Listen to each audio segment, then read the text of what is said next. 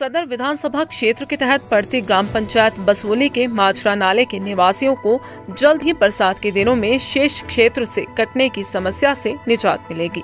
वीरवार को वित्त आयोग अध्यक्ष सतपाल सिंह सत्ती ने करीब 35 लाख रुपए की लागत से तैयार होने वाले पुल का शिलान्यास किया और इस पुल को करीब तीन माह के भीतर बनकर तैयार होने की भी बात कही। इस मौके पर वित्त आयोग अध्यक्ष ने ग्राम पंचायत क्षेत्र में किए गए विभिन्न विकास कार्यों का लेखा जोखा भी प्रस्तुत किया। गौरतलब है कि इस क्षेत्र के लोगों द्वारा सड़क मार्ग पर पड़ते एक नाले पर पुल बनाने की मांग लंबे समय से की जा रही थी। वहीं इस दौरान सतपाल सिंह सत्ती ने कहा कि करीब तीन माह के भीतर इस पुल को बनाकर जनता को समर्पित किया जाएगा। उन्होंने बताया कि इस ग्राम पंचायत में प्रदेश सरकार के सहयोग से करोड़ों रुपए के विकास योजनाओं को मूर्त रूप दिया गया है। उन्होंने कहा कि आने वाले समय में भी विधानसभा क्षेत्र की इस अहम ग्राम पंचायत को विकसित करने में हर संभव योगदान सुनिश्चित किया जाएगा। सोली ग्राम पंचायत के अंतर्गत विकास के क्षेत्र में एक नया आयाम जुड़ा है।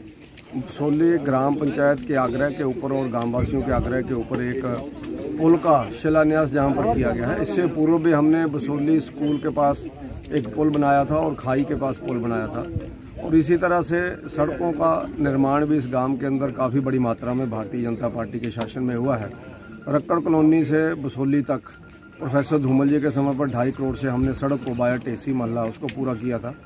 और उसी तरह से हम लोगों ने अभी नेशनल हाईवे के नाते ऊना से लेकर के मलाहत, बसोली और तड़ाई तक लगभग इकतीस करोड़ रुपया लगा करके सड़क को डबल किया और इसी तरह से बसोली गाँव का जो मोहल्ले नाड़ा पड़ता है, उसमें सड़क नहीं होती थी, जिस समय अटल बिहारी वाजपेयी जी प्रधानमंत्री बने थे, धूमल जी चीफ मिनिस्टर थे तो उस समय हम लोगों ने वहाँ पर प्रधानमंत्री ग्रामीण सड़क योजना के अंतर्गत लगभग पैंतीस लाख रुपये लगा करके सड़क का निर्माण किया था।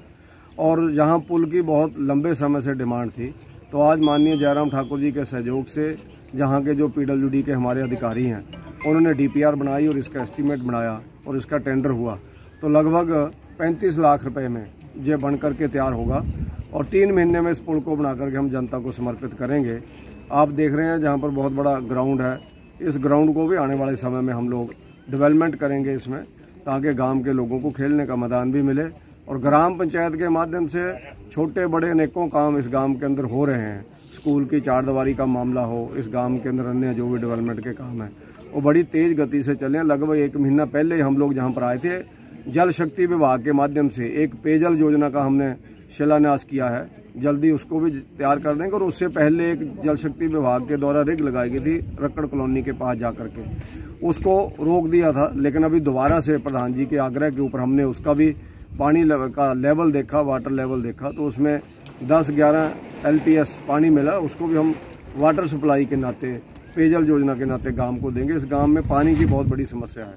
तो ये दो बड़ी योजनाएँ हम पेयजल के क्षेत्र में भी लेकर के आए हैं।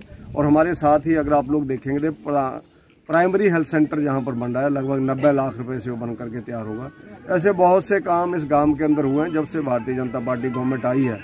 और हम कोशिश करेंगे कि पंचायत का कार्यकाल पूरा होते तक और भारतीय जनता पार्टी दोबारा से आ जाए, इस गाँव का इतना विकास कर देंगे कि गाँव के अंदर कोई डिमांड ही ना रहे। ऐसा हम लोग तेज गति से चले हुए हैं। तो बहुत अच्छे काम हो रहे हैं। इसकी मैं गाँव वासियों को, पंचायत को, उनके सभी सदस्यों को और विभागों के अधिकारियों को मैं बहुत बहुत बधाई देता हूँ। धन्यवाद।